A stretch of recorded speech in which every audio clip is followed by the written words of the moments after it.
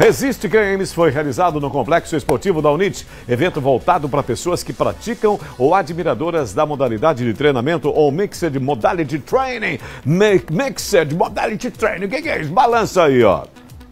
Cross significa cruzar e fit seria em forma. É dessa junção que surge o crossfit, a prática que tem ganhado destaque ao longo dos anos, une força e condicionamento físico. Os adeptos e admiradores tiveram um fim de semana completamente voltado para a modalidade. Foi a edição 2024 do Resiste Games. Tem uma proposta de atender o Nordeste que é a modalidade que envolve vários esportes e o complexo aqui realmente consegue atender essa necessidade de envolver vários esportes numa competição só.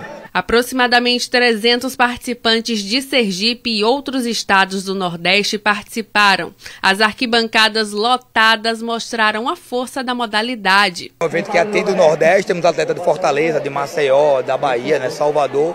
E é não só quem está participando, mas também quem vem para a torcida, porque o pessoal veio de fora, veio para torcer pelos seus atletas e acaba interagindo. A entrada é gratuita, a gente fez uma ação beneficente, onde quem vem assistir dá a doação do alimento, então a gente de alguma forma consegue também, além da arena, contribuir fora. Esse evento, além de ser um momento de valorização da prática esportiva, também é muito importante para os alunos da universidade. Isso porque essa é uma oportunidade de colocar em prática aquilo que eles aprendem na sala de aula. Os alunos de educação física, por exemplo, atuam no apoio à arbitragem e também na logística do evento enquanto os estudantes do curso de fisioterapia participam dos cuidados com os participantes. Podendo proporcionar aos seus alunos de alguns cursos, como educação física e fisioterapia, é, através de metodologia do Inova, eles poderem estar na prática utilizando o que eles aprendem na sala de aula. Então a gente aproveita também esse momento. O sucesso dessa edição chamou a atenção para novos eventos semelhantes. Nós temos um calendário bem extenso aqui na Universidade de Tiradentes. Então, vamos receber aqui um troféu Norte-Nordeste de atletismo. As seletivas dos Jogos Brasileiros, né, sub-18, o JEBs, vão acontecer aqui também é, agora em maio. E outros eventos aí vão surgir aí, um A4, tem algumas propostas interessantes aqui para o Complexo Esportivo da.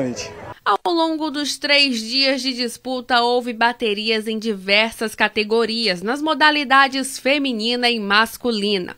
Cada bateria foi disputada por duplas, com direito à premiação. Teve gente de outro estado que veio só para concorrer. É a primeira vez em Sergipe, viu eu representando a Ecos em Alagoinhas e uma equipe muito grande de atleta.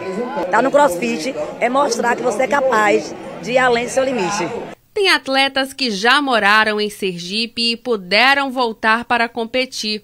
O caso de Fábio foi uma feliz coincidência. É que o evento foi marcado para o dia que ele voltava à terra natal. Eu vim a trabalho essa semana, me chamou para participar do campeonato e aí eu não pude recusar, né?